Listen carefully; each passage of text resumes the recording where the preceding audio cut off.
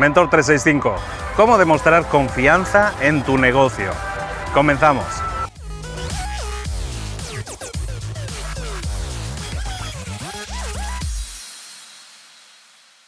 Todos los empresarios que conozco o emprendedores, grandes o pequeños, normalmente se concentran siempre en conseguir que su negocio sea un éxito. Eso es el verdadero objetivo de cualquier emprendedor, ¿no? Tener un negocio de éxito que te permita alcanzar tus metas. Pero muchas veces cuando eso no ocurre, nos entran las inseguridades entonces lo que buscamos son atajos, buscamos herramientas que ahora mismo no tenemos o secretos que a lo mejor creemos que otras personas sí tienen y que nosotros no tenemos y que nos permitan tener soluciones que nos permitan tener ese éxito. Repito que eso sucede cuando no estamos seguros de nuestro éxito y muchas veces empezamos a hacer cosas como marketing de contenidos, y creamos nuestro blog o creamos nuestra página con los contenidos que nos dicen que tenemos que crear y no obtenemos los resultados. Sí obtenemos un poco de contacto, conexión con la gente, pero no conseguimos los resultados que estamos buscando. Y cuando eso sucede, nos ponemos nerviosos. Empezamos a buscar, la, eh, eh, empezamos a buscar por internet soluciones. Y encontramos a gente que tiene Lamborghinis en el garage y que tiene y que tiene gana millones mientras duerme y este tipo de promesas. Y nosotros decimos, yo quiero tener eso, yo quiero lo mismo que esa persona, yo quiero el secreto que esa persona tiene y que yo no tengo. Y esto te digo, le pasa a emprendedores novatos, pero le pasa también a empresarios establecidísimos. Y lo que sucede en esos casos es que la gente empieza a creerse todas esas historias. Yo no digo que esa gente no tenga éxito, no haya tenido éxito, pero probablemente esa gente son, son excepciones que confirman la regla. Pero nosotros los vemos como héroes a los que tenemos que seguir. Y entonces, ¿qué hacemos? Seguimos a esa persona y compramos sus productos, compramos sus cursos, compramos sus libros. Y empezamos a consumirlo y entonces nos dejamos de lado lo que originalmente nosotros estábamos haciendo bien, que era dar valor, crear contenidos, crear conexión con la gente, y nos centramos en cosas como tengo que, lo único que importa ahora es que yo cree una lista de correo electrónico y que invada a toda la gente que está en esa lista con correos electrónicos, o que cree un, funnel o un embudo de ventas, o que cree eh, em, emails gratuitos, campañas en Facebook, todo lo que sea necesario para bombardear a la gente que de alguna manera ha confiado en mí en el pasado, a la que yo le he dado valor en el pasado, lo que voy a hacer es bombardear, bombardearla con ofertas para así poder conseguir ganancias rápidas. Porque esa es la táctica que ha utilizado esa persona. Y como te digo, a esa persona a lo mejor no le ha ido mal, pero ¿quiere decir eso que esa regla funcione para todos?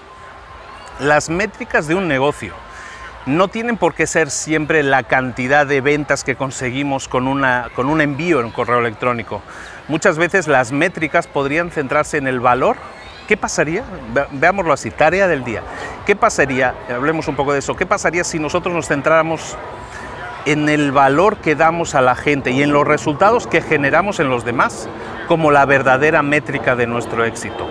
Si nosotros consiguiéramos hacer eh, de verdad exitosos a 10, 20, 50, 100, 500, 1000 emprendedores, ¿qué significaría eso para nosotros?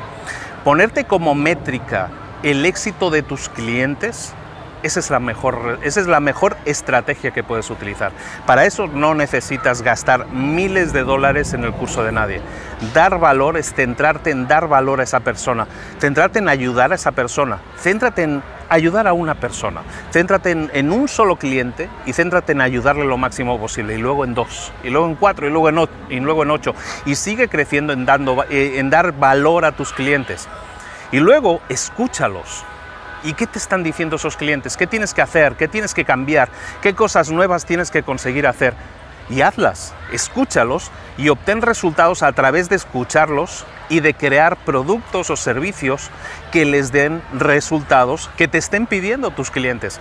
Si lo haces de esa manera, vas a conseguir evidentemente resultados para tus clientes, pero a través de los resultados que le estás dando a tus clientes, es como tú también vas a conseguir resultados para ti mismo tus productos y servicios van a ser mucho más valorados, los contenidos que crees van a ser súper valorados. ¿Por qué? Porque estás hablándole a tu cliente, porque estás, estás diciéndole a tu cliente lo que necesita para obtener resultados.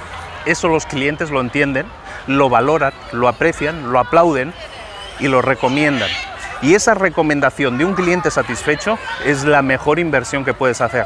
Olvídate de Lamborghinis, céntrate en dar valor a los clientes y vas a ver cómo los Lamborghinis llegarán tarde o temprano, pero porque has dado valor, porque has ayudado a los demás a obtener muchísimos más resultados. Esto es Mentor 365, como sabes, todos los días del año estamos contigo creando un vídeo, creando contenidos que te den valor y que te sirvan para obtener más resultados a nivel personal y profesional.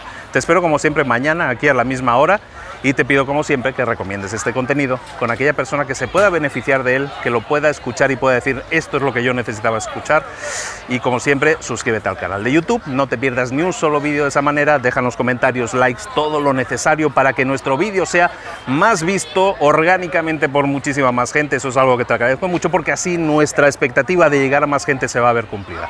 Un abrazo de Luis Ramos, nos vemos mañana a la misma hora, un saludo, hasta luego.